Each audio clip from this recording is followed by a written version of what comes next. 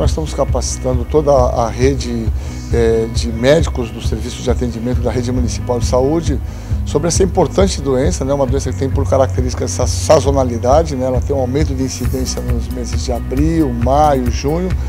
e é uma doença muito grave, né? Se estima que um milhão de pessoas, quase um bilhão de pessoas no mundo se infectem com essa doença